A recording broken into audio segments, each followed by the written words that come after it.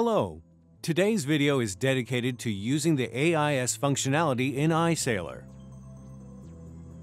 iSailor offers different options for working with the AIS that depend on the user's needs and capacities.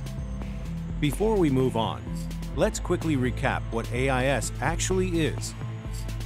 AIS, which stands for Automatic Identification System, is a means of automatic location and identification of vessels by electronically interchanging data with nearby ships and AIS base stations. iSailor supports interfacing to hardware AIS devices and allows receiving the AIS data from the internet as well.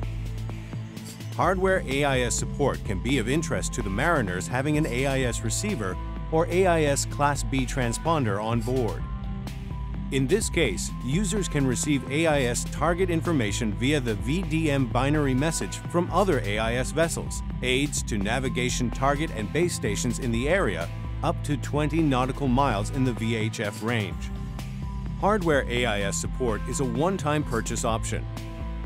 In order to buy AIS receiver support, go to the Settings menu, then to the Sensors, Unlock AIS Options submenu. Once you are there, choose Unlock AIS Options and then AIS Receiver Support. Those users who do not have a hardware AIS on board or who have chartered a boat for a small period of time can still view AIS targets in iSailor if a stable internet connection is available.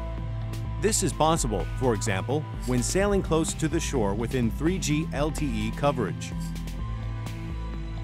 In this case, you can go for the Internet AIS service, which is a one-year subscription.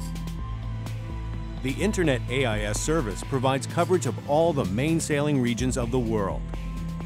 To check whether your sailing area is covered by this service, please visit the Chartfolio section of our website. Once you are there, press the AIS coverage button, then zoom in the area of interest. Areas covered by the service are indicated in green.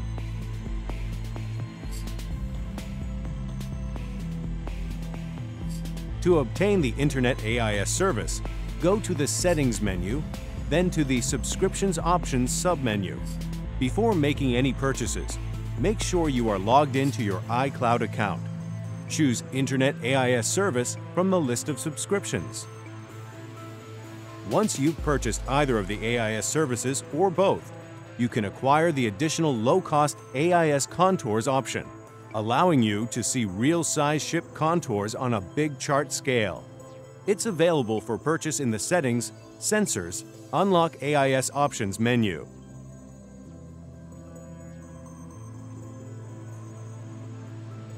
Now, let's move on to the new functionality called the AIS Target Table.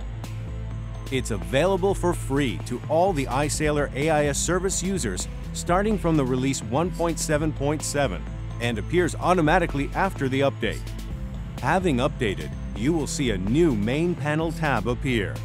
The AIS Target Table allows quick real-time table-style presentation, filtering and search between hundreds of AIS targets. AIS Class A targets are shown in chart in green. AIS Class B targets, AIS Class A pleasure or sailing boats are shown as blue targets. Pilot boat, tugs, or port tenders are displayed in a special orange color.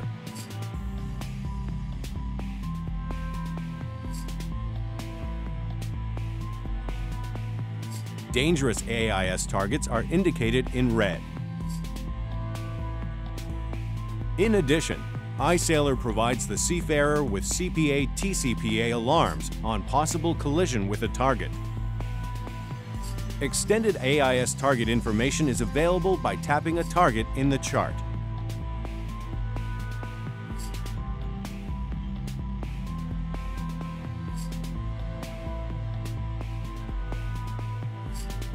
Alternatively, you can search a target by name or MMSI in the table.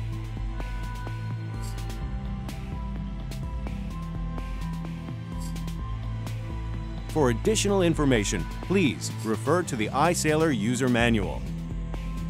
Visit our website or join the iSailor community on Facebook. The links can be found in the video description below.